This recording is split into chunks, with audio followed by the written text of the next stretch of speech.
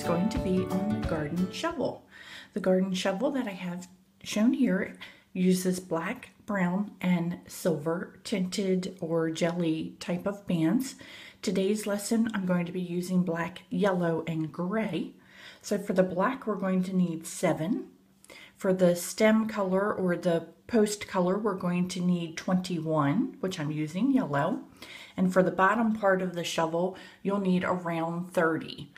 So gather your supplies. We do need a few extra things. We need a piece of 16 gauge wire or a wooden toothpick that you need to support the back of your um, creation in the handle because the rubber bands just aren't strong enough to hold the handle up um, as straight as I would like it. Some other items that go along with our shovel and the garden theme, we have the garden rake, which is another video that I have on my channel, and the garden hoe, the rake, and the hoe. These are going to look really cute in Loomville in the garden area. For those of you that haven't heard, I'm actually building a little town or community out of all rubber bands. So I hope you will continue to watch as Loomville grows. But let's get started today with our shovel. Our loom is going to be set in its standard offset configuration with the arrows pointing towards our body. It's just the way I feel more comfortable to work. So you want to make sure that your arrow is pointing towards your body. We're going to begin by placing a single band over the center peg on the outside edge. And this is a black band, and I call this my dangle band. It's actually going to be the band that we use to secure off the whole project at the very end when we finish off the project. You want to take your hook and a single black band and you want to wrap it around your hook three times. There's my number one, there's my number two, and there's my number three. You just want to make sure that you have got three bands on your loom, or what looks like three bands on your hook. I'm sorry, on your hook. Then we want to take two black bands and we're going to pull that set of three that we just did onto those two black bands. Then we're going to place it on our loom, center peg one to center peg two. And be sure just to push the little black piece up closer towards the top peg. We need to do that again with the black. So there's number one, there's number two, and there's number three. I have three bands or a single band twisted on my hook three times. Two bands and pull that three over and then we're going to set this on our loom. This is creating the back of the handle where it makes it really easy just to slide in the wire piece at the end. Now we need to do this down the loom seven more times, switching over to your handle color, whatever color you wanted your handle to be. Today I'm using yellow. So once again, there's one, two, three with a single band twisted on my hook three times, two bands pulled through, and then I'm just going to place that on my loom, coming straight down the center section. One, two, three. That's a single band twisted three times. Pull through two yellows and place that on my loom. Again with the yellow, one, two, three. Two bands pulled through. If I'm going too fast, you can stop and do this at your own pace or fast forward if I'm not going fast enough for you, but we do need seven to come straight down the loom. One, two, three two bands pulled through and place on the loom. Whoops, and I didn't get mine on the whole time that time. There we go. Here we go again. One, two, three. Two bands pulled through and place on your loom. Again, one, two, three two bands pulled through and place on our loom. And my last time, one, two, three, two bands pulled through and place on my loom. So here we have got our two black and one, two, three, four, five, six, seven done the same way with the yellow.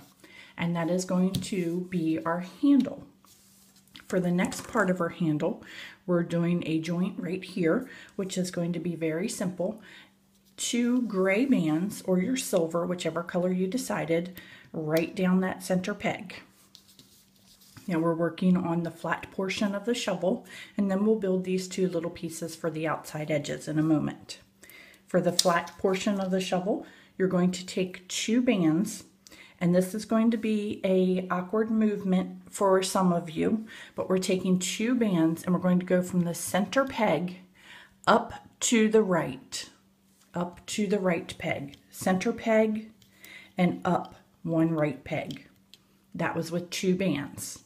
We're going to do the same thing on the left side. Center peg and up to the left. Let me show you guys what that looks like.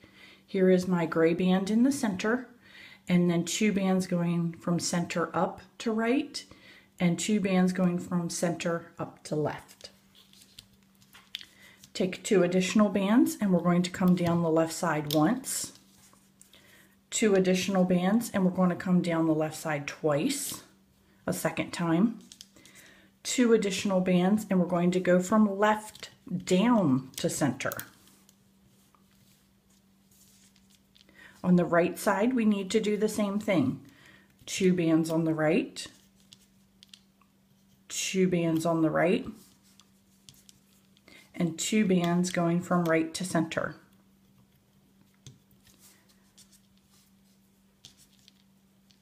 two bands are going to come down the center. And on those two bands coming down the center, you want to stop there for just a moment and we're going to take a single band. And this single band is going to go from center over to the left, center over to the left, and then single band, center over to the left again, and then we still have one opening here, which is going to be two bands coming straight down the center. Let me hold that up for you guys to take a closer look at it. So this was two bands in the center, a single band from center to left, a single band from center to right, and then two bands to complete the center. The next thing that we have to do are our horizontal and our cap bands. For that, we're going to cap off this bottom piece right here by using a three-time cap band. And you can do it however you wish to do your cap band. I am just taking my band and wrapping it around my hook three times and then stretching it out over that bottom peg. I need to place a triangular hold horizontal band here, but it's going to be a single band that we need to double twist onto itself and then stretch out over to form that triangle right there. And the only other part that we need to do before we can start to loom is to do these two little pieces on each side. That's where we're going to be needing our hook again. And you're going to take and wrap a single band around your hook four times. So that's number one for me, twist in number, twist in number two, twist in number three, twist in number four. So now I have four bands on my hook. You want to take a single band, double twist it on your fingers, and we're going to slide that four onto that double twisted single band. Then you're going to reclaim the end of that double twisted band. And this forms kind of like a little nubby, puffy type of thing. We're going to place that on the upper left portion of the gray and place that right there and just let it sort of nub out on the side. We need to do the same thing for the right side. One band four times on my hook. One, two, three, and four. A single band that I'm going to twist on my fingers and have it look like a double twist band. Then I'm going to pull that four through and reclaim that double twist band back on my hook. And then that's going to go over here on the right side as our little nubby pointy part of our shovel. Let me show you a close-up so you can take a moment to look at that. And now we're going to be ready to loom. We're going to start to loom down here at the bottom.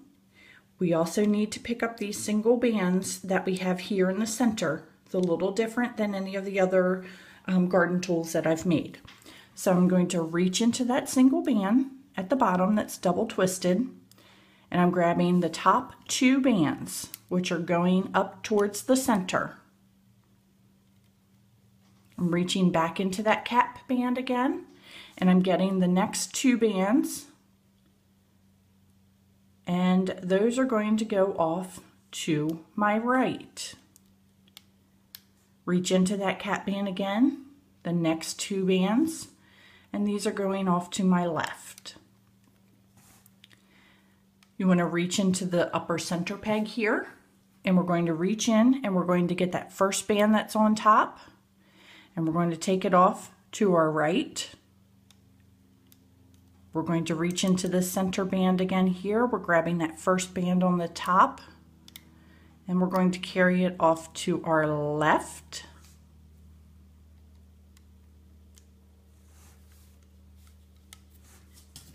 And then we're going to grab the, we need to move down here to the left side and do the left side of our loom. Then we're going to do our right side and then we need to come up and finish the centerpiece. We're not done with that centerpiece yet, but that needs to be the last one that we do. So I'm going to reach over here to the right and I'm going to loom forward once. I'm going to reach over here. I'm sorry, this is my left. I get my left and my right confused sometimes.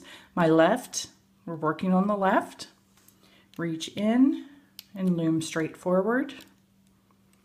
Now on the left, we've reached where we've got that little nubby side and you're going to reach in, grabbing the bottom two bands. You only want the two bands on the bottom.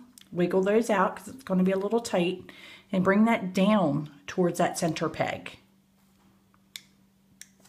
Now we can move over to the right side. Reach into that bottom right peg, grabbing the bottom two bands, pushing back on everything else. Bottom two bands and come straight forward. Reaching in, pushing back everything. You need the bottom two bands and come up straight forward. Now we've reached our little nubby area here on the right. You want to reach in and push back everything that you see and have there on that peg and getting the bottom two bands and come over to the center. And I just had a band slip off but that's okay. This is going to be a pretty easy fix for me. I just need to set my loom down for just a moment. My bands decided they wanted to slip out and off on me. And I'm just going to reach back in through that peg getting those two bands and pulling them up and securing them off so you guys didn't have that problem so just ignore that little blooper that I had there. So now our diagonal is finished here on the right. We need to finish looming up the stem or the handle of our creation, but we need to get that one band that we didn't finish down here in the bottom. So reach into that center peg and get those two bands that are still there and loop forward once now we started reaching to the handle portion where there's a lot. There is a lot, a lot, a lot on this peg. You want to push back everything that is there and you want to get the bottom two bands. You want to make sure that you're only reaching the bottom two bands, pushing back everything else, wiggling out those two bands and looping straight forward. Now it's pretty easy, simple looping. Just reach in, grab your bottom two bands of your yellow, two bands of yellow. It's okay if it comes off the loom as it did there. Two bands of yellow. We're just going to continue to loop straight forward. You don't want your little pieces of three to come up through, so try to keep them down as low as possible. And now I'm reaching the black and just straightforward looping. Now I've reached the end and I'm going to take and secure my dangle band on one finger, reach in through this peg here, grabbing that dangle band and pulling it out and up, place it on the hook and slip knot it over and off. Now we're ready to remove our creation. If you followed along with me before, you know I use the back of my hook or a wooden skewer to take it off. You want to be especially careful to do that in this area down here because there, where that nub was, there's a lot of tension. And in the center pieces, there is a lot of tension. So you just want to, you don't really want to rip it completely off the loom because you will have so much more fiddling to do at the very end. So here we have our shovel slightly twisted, but that's okay because what we're going to do is to take our piece of wire and we're going to run our wire through the back or the toothpick that you have. I'm just using wire. We're going to run our wire through that little set of three, each one of those three bands that we had twisted on our hook. That's what I'm running this wire through. So you just want to pick up those three bands all the way to the end. And then you reach the area where the shovel is you just want to pierce in through that shovel a little bit. Stretch out your band some, so make your handle look a little longer. At the end of the shovel, where that cap band is, just give it a little tug. And you can push and play with it a little bit. Pull on your little nubbies, pull those out some. But here we have got our garden shovel to go along with our rake and our garden hoe. If you want to continue to watch episodes of Loomville under construction, it will be airing very soon. I'm adding more components every day, and I'm actually going to show a video of the garden scene set up in just a little bit. So if it's not already on my channel, you can look for um, that garden scene video and see how the garden area is turning out of Loomville. And then just stay tuned for the house that will be under construction and everything else that I have going on for my new rubber band community that I'm making. Stay tuned, post your creations on Crafty Ladybug Rainbow Loom Creations on Facebook or tag me at Crafty Ladybug on Instagram. And I also have a website that you can read and catch up on some things at www.craftyladybugcreations.com. Bye-bye.